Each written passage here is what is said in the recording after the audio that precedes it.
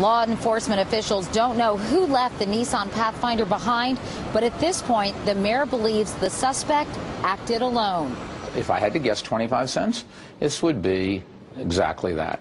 Somebody A who's homegrown. homegrown, maybe a mentally deranged person or somebody with a political agenda that doesn't like uh, the health care bill or something. It could be anything.